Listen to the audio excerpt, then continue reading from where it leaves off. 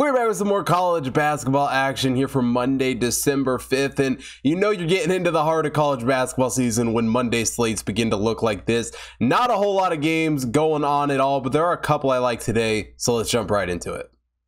Now we start out the show with Kennesaw State taking on Charleston Southern. Kennesaw State comes into this game as the 238th overall team in the hot tip power ranking. Charleston Southern is the 343rd overall team. And you know, for Kennesaw State, they are off to a solid start here this season. A five and three record come into this game following a win over Mercer. And they've had some impressive performances. A, a game against Florida. Um, they played VCU very, very strong. End up losing that game by only three points points. And it's really a Kennesaw State team that I have been very impressed with this season. On the other hand, Charleston Southern really doesn't have a ton to love about this team. I mean, only one Division One win this season coming against Bethune Cookman, and yeah, they've played some close games, some games that ultimately they probably could have and maybe should have won. Um, but offensively, it's the Charleston Southern team that has really just struggled this season, especially when it comes to shooting the basketball. Just have not been a great team. Only hitting a 46.7 effective field goal percentage on the season.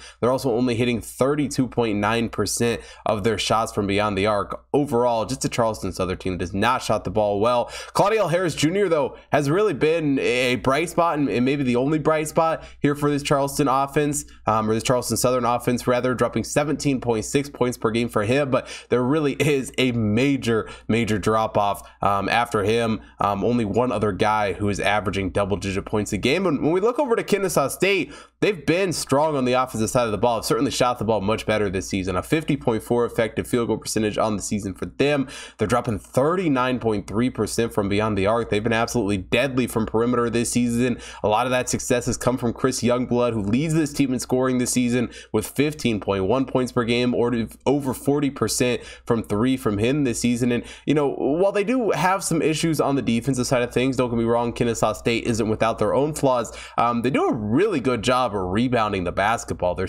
they're pulling down 78% off the defensive glass with actually the 24th best team in the country when it comes to defensive rebounding. We look over to the Charleston Southern thing. Um, their defense isn't great and, and, rebounding isn't good at all. Only pulling down 66.7% off the defensive glass through the 312th team in the country in that category. And really we go into this game i'm kind of surprised how low this spread is for kennesaw state. Yes charleston southern has played some close games this whole, this season especially at home but it's a Kennesaw State team that when they crash the boards, they can really make it hard for their opponents to have extra possessions um, and really, you know, create opportunities to score the ball. And I think that's going to be Charleston Southern's biggest mistake in this game and biggest issue. I think they're going to struggle to get those second chance opportunities. Ultimately, I think they're going to struggle to score points. And then Kennesaw State's going to get a pretty big win here on the road. I'm taking them minus three and a half here against Charleston Southern.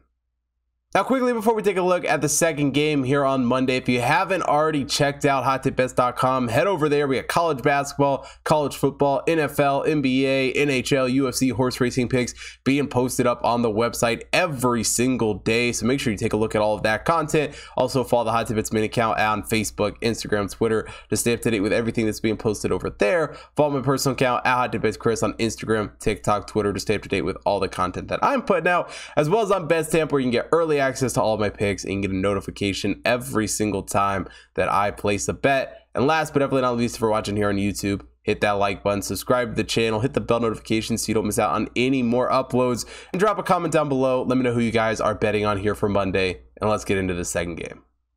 Kent State heads to Spokane to take on Gonzaga in what is probably the biggest matchup here on Monday. Kent State comes into this game as the 107th overall team in the hot tip power ranking. Gonzaga is the second overall team. And strangely enough, we bet on both of these teams on Friday night. Kent State gets the win and the cover in their game. Gonzaga can't quite hold on, end up losing to Baylor by one point on Friday. Um, but obviously turn it around playing here on Monday. And it's a Kent State team that I've been absolutely impressed with this season. I mean, a great win over South Dakota State, dominated that game um, from start to finish. They, they obviously, the game before that, held Houston to five points on the road in that loss. And, and overall, it's a, it's a Kent State team that's been decent on the offensive side of the ball, you know, dropping a 50.7 effective field goal percentage, also hitting 36.8% from beyond the arc. But the, the real success for Kent State comes on the defensive side of things. But it's not going to be an easy task stopping a team like Gonzaga Gonzaga, who's you know the number one team up there at least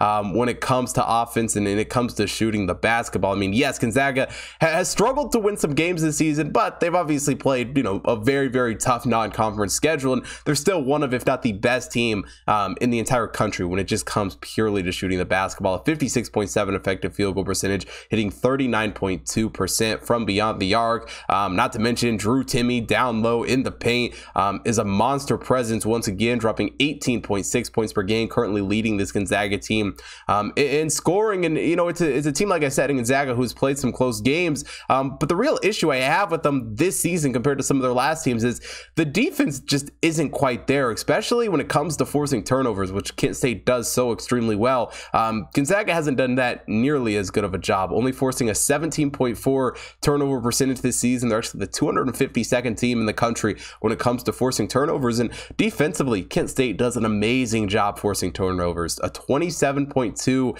turnover percentage for their opponents. Kent State is the sixth best team in the entire country when it comes to forcing turnovers. And we saw that be a major factor against Houston. That was obviously what led to the big win against South Dakota State in their last game. Malique Jacobs um, has really just been off force in the turnover department, forcing four steals per game for him. And overall, it's a Kent State team that, that I'm very, very high on. They're very dangerous um, in the MAC this season. Yeah, Gonzaga is still a great team. They're still obviously going to have a lot of success as the season goes on, even though they've lost a few games here early. But their defense just isn't there for what it was in the past few seasons. I think it's a Gonzaga team that really struggles to win some of these games big because of it. Um, you know, just trying to rely so much on their offense. I think they struggle to win this game big. And I think Kent State just keeps it close on the road. I'm taking Kent State plus 15 and a half here against Gonzaga.